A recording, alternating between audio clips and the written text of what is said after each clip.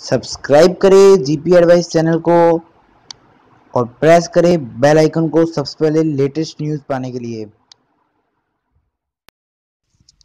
Mineral and energy resource, chapter fifth. अगर आपने दोस्तों, पहले पहले वन टू फोर चैप्टर की वीडियो नहीं देखी और इकोनॉमिक्स के चैप्टर की वीडियो नहीं देखी तो प्लीज़ देख लेना।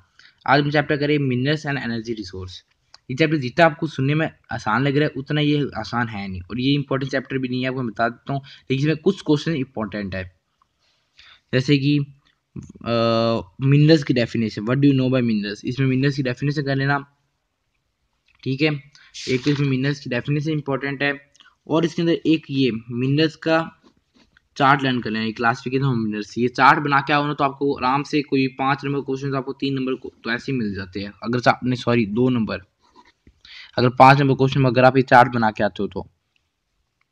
Modes of occurring, minerals learn कर लेना। कैसे मिनरल्स को मोड्स अकर होते हैं, ये कर लेना। इसमें देखो, पाँच पॉइंट है, ये लर्न कर लेना एक तो।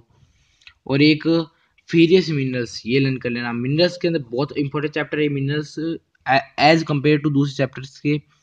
शुरुआत मैंने इस वीडियो की शुरुआत में मैंने कहा ज़रूर था कि इंपॉर्टेंट नहीं, लेकिन मेरे को लगा कि थोड़ा इंपॉर्टेंट लेकिन देखने के बाद में पता लग रहा है कि इंपॉर्टेंट है चैप्टर आयरन और और इस चैप्टर में एक मैंगनीज, ये ये चैप्टर के अंदर मैं आपको कुछ कटवाने मानूँगा नहीं क्योंकि चैप्टर बहुत इंपॉर्टेंट है। क्वेश्चन मेरे हिसाब से पेपर में इकोनॉमिक जियोग्राफी में इसी चैप्टर में ज़्यादातर क्वेश्चन आने वाले हैं। नॉन फीडर्स मिनरल्स की डेफिनेशन लर्न मैंगनीज की डेफिनेशन लर्न कर लेना कॉपर की डेफिनेशन लर्न कर लेना। ये मैप आने के चांस है तो ये मैप तैयार कर लेना आप। और बॉक्साइटाइल लर्न कर लेना इस चैप्टर के अंदर।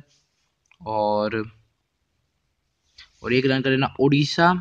Is the biggest bauxite production state in India एक ये लर्न कर लेना कंजर्वेशन ऑफ़ मिनरल्स कैसे कंजर्वेशन करें मिनरल्स की इस ये भी तीन मार्क्स का क्वेश्चन आ सकता है ये भी तैयार कर लेना लाइमस्टोन लर्न कर लेना इस चैप्टर के अंदर और एनर्जी रिसोर्स ये भी लर्न कर लेना इस चैप्टर के अंदर कंजर्वेशन सोर्स ऑफ़ एनर्जी इसको भी लर्न कर लेना